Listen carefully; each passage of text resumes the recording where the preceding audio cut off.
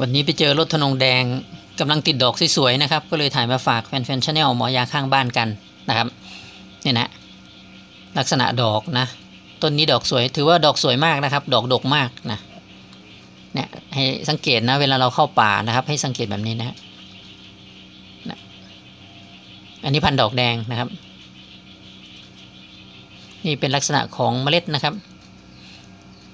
จะมีสามภูมีก้านยาวนะครับ ข้างในก็จะมีเมล็ด แต่ว่าเมล็ดที่สมบูรณ์หายากนะครับนะเพราะจากเมล็ดบางทีก็เกิดยากเหมือนกันนะครับนะรถธนงแดงถือเป็นว่าถือเป็นสมุนไพรที่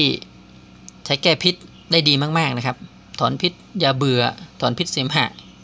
หอบหืดวัณโรคนะครับทาหัวฝีให้ยุบนะฮะแก้พิษงูนะครับทาแมลงสัตว์กัดต่อยได้ดีมาก ๆ นะครับ เงี้ยงปลาดุกเงี้ยงปลาอะไรตำนี่ก็ใช้ได้นะง่ายๆก็คือใช้ส่วนของรากโลดธนงแดงนะฮะฝนกับน้ำซาวข้าวนะฮะใช้ถอนพิษนะครับ ถ้าฝนกับน้ำมะนาวหรือหมากแห้งก็ใช้ทาแก้พิษนะตามผิวหนังนะครับ พิษที่โดนแมลงสัตว์กัดต่อยทั้งหลายนะครับ แต่สมุนไพรตัวนี้